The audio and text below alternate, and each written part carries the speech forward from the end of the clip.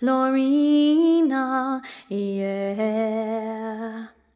One happy birthday dot com.